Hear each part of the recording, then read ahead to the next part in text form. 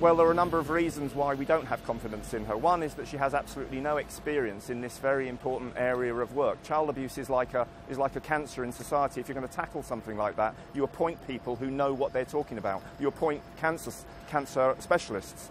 She also has very strong links with one of the key witnesses potentially to this very inquiry, i.e., Leon Brittan, and that in itself would disqualify her as a lawyer from conducting such an inquiry.